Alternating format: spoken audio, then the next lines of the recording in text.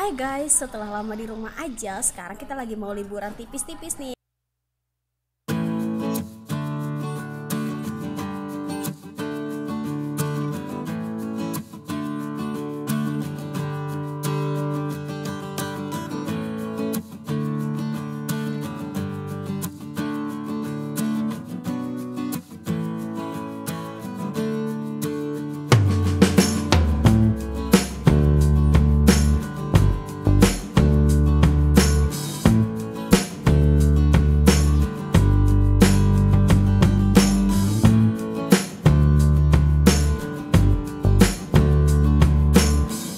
Bye.